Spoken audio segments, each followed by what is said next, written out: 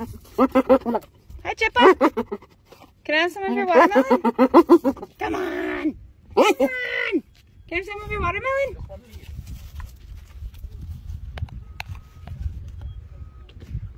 Is it good?